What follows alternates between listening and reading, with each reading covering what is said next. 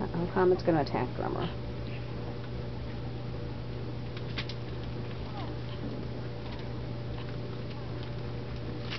I wonder how they sleep in a pile.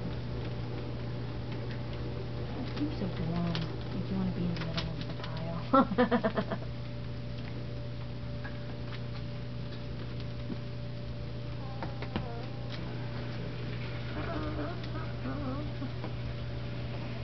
I really should go.